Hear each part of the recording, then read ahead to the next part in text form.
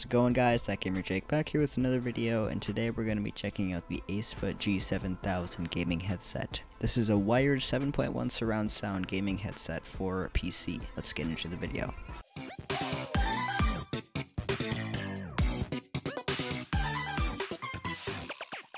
So the first thing that you're going to notice on the box is of course that very well presented image of the gaming headset itself and we will be unboxing it in a second but first let's go around the sides of the box and see how it's advertised.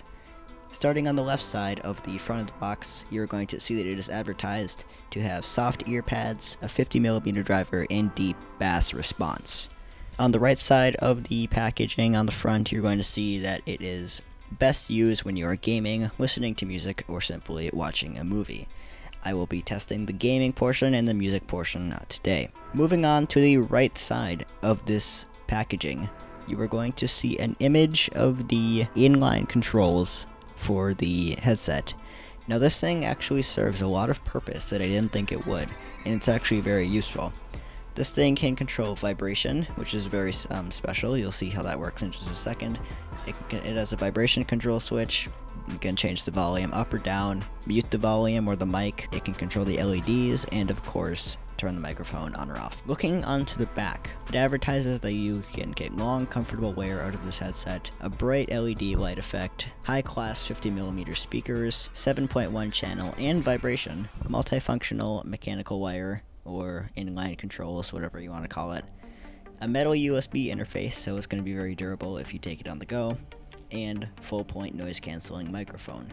We're going to test all of these features today to see if they live up to what it advertises. On to the last side of the box, the left side. So this shows you some highlights. The 7.1 surround sound system, the inline controller, the customizable sound through the software, the glaring blue light, USB connection.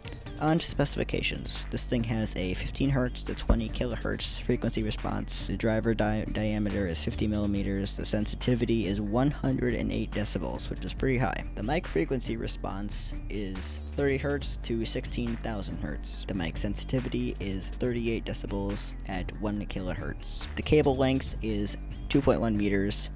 Um, in inches. I'll leave that in the description or the video because I'm actually not sure what it is. It is a omnidirectional mic, so no matter where you put it, it's going to pick up what you say. The work temperature is 25 to 70 degrees Celsius, so it's pretty flexible there. And the microphone dimensions itself is 6 by 2.7 millimeters, so you're going to have a lot of flexibility there.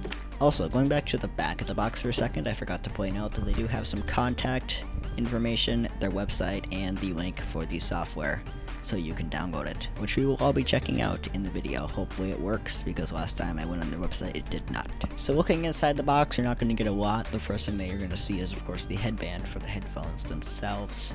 Then after you take the headphones out of the box, you will be greeted with a driver CD and an instruction manual, which unfortunately did not get captured in the video and I discovered later on.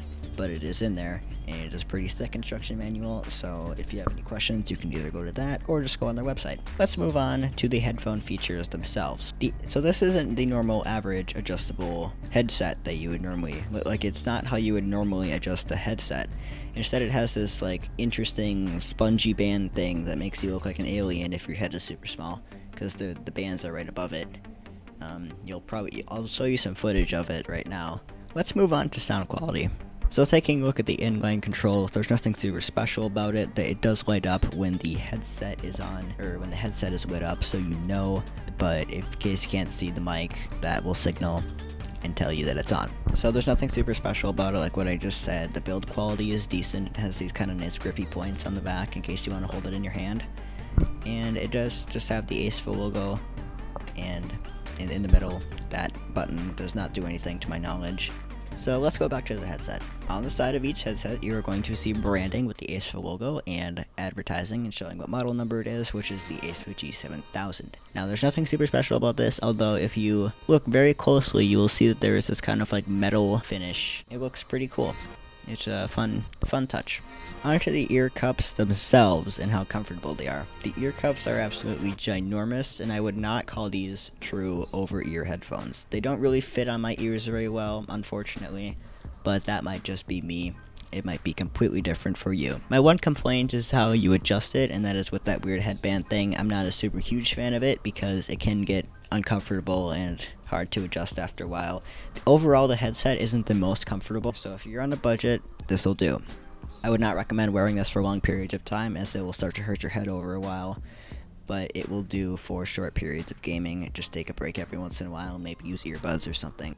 Okay, you guys, so unfortunately I did not um, I did not figure out how to download the driver, um, so I'll have to contact the company about that, and if I figure anything out, I'll leave you with a link in the description.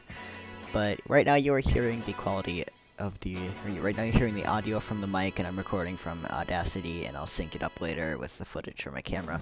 But I haven't heard the audio yet, so I hope that it sounds decent. I think it should, because, I mean, I don't think that a mic can be that bad on a headset. It's not going to be crispy, clean. I mean, you don't need that in a $40 headset. That's what you expect. I mean, you already have some cool features like the vibrating ear cups. But overall, this is a pretty good headset. So let me show you guys some B-roll and narrate. Okay you guys, it is day two of this review, and I realized as I was editing that I missed quite a few cool features that I think that should be pointed out, so let's get into that. Starting off is those vibrating ear cups. Now, I never really went over those, even though I said I would, and I'm sorry for that. But they are really, really cool, and I've never heard of them until I saw this headset. So, the cool thing about these is that they respond to the bass. So they have little, what I'm going to call haptic engines in them, and they respond to the bass so whenever like there's a booming bass, it vibrates a little, so it makes you feel a bit more immersed in the game or into the music. And it's just really, really cool. That and it's a feature that you normally don't see on a headset for this price point. Another cool feature is the LED lights. Now, although I would have liked to see them be RGB, um, for $40, it's what you get.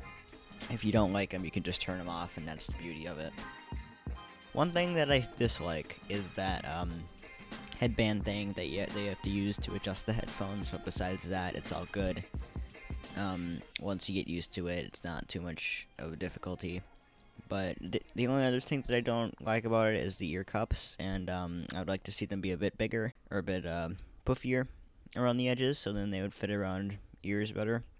But that's just my personal opinion, it might be different for everybody, so. So unfortunately I did not figure out how to download the drivers, but I will do a follow-up video if I do figure that out. I would like to thank you guys so much for watching, and if you enjoyed this video, hit the like button. If you didn't, you know what to do. Comment down below what I should review next. Thank you guys, and I'll see you in the next one.